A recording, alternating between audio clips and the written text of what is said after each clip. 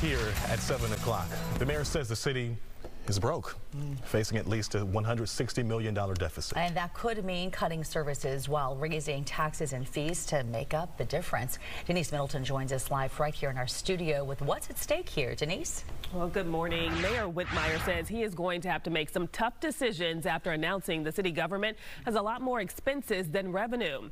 During Wednesday's city council meeting, the mayor said they're looking at a 5% cut to all aspects of city government except for fire and police.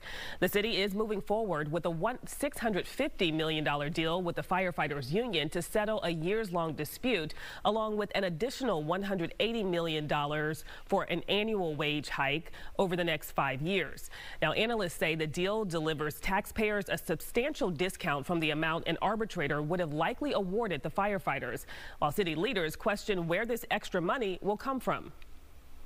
Now, this is going to come down to a financial sacrifice by the city. Now we could either be 1.2 billion broke or we could be 650 million broke. Are we going to fee Houstonians? Is it a trash fee? Are we paying for parking after six?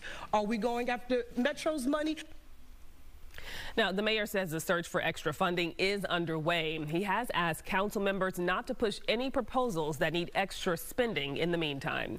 Reporting live in the studio, Denise Middleton, Fox 26 News. All right, Denise, thanks a lot for that.